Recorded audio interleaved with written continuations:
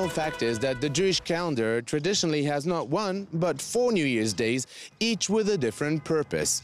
One for counting the years of the reigns of the kings in ancient Israel, one for animal tithes to the priestly class, similar to what we know today as the new tax year, one to commemorate when the world was created, and lastly, the date for determining the age of the trees. So this year, we wanted to find out how Tu Bishvat, which is the new year for the trees, is actually a lot more important to the Jewish calendar than people actually know.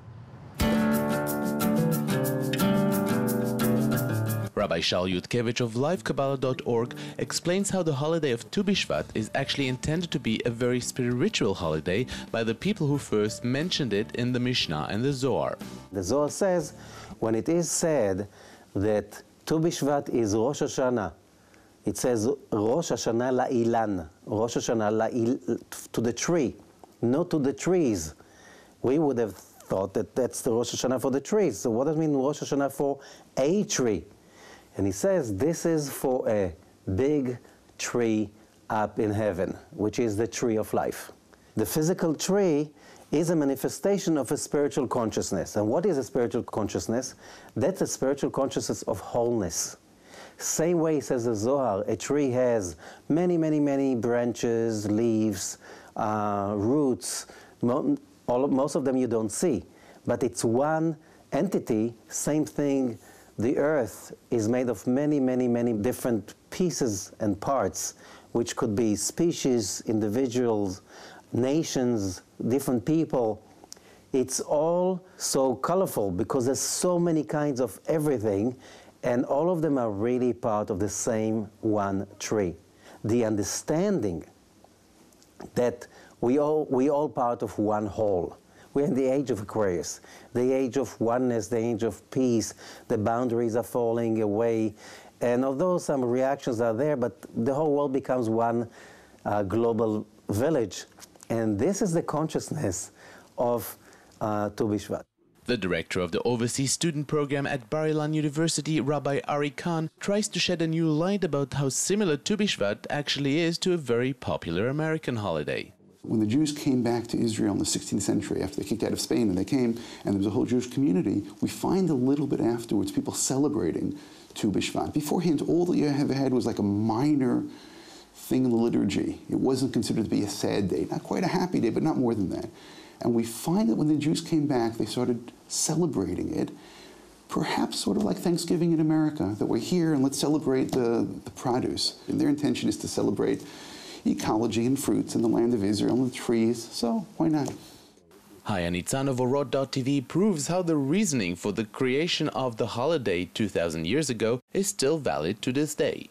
God created everything uh, because He wanted us to learn from everything.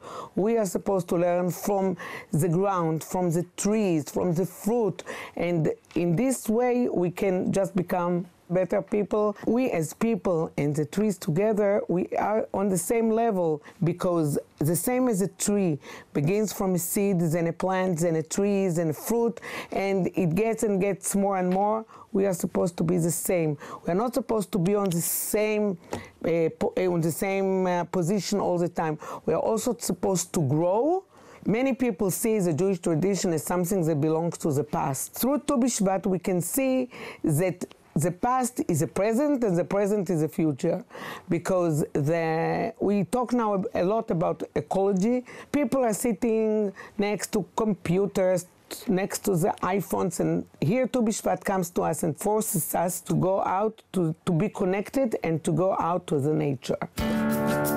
So one might ask themselves, what do I get from the holiday of Tu B'Shvat? Rabbi Yudkevich seems to know the answer to that too. One thing that is important is to ask what do I, myself, what do I get from Tu B'Shvat when it's coming? On Tu B'Shvat, this is the time that the trees start to blossom. Like if Japan, they have the uh, cherry blossom. In Israel, it's the almond tree blossom. And in Israel, it's full of almond trees blossoming all over during this time. And that means that this is the time for a person to blossom spiritually. We have to give rebirth to ourselves.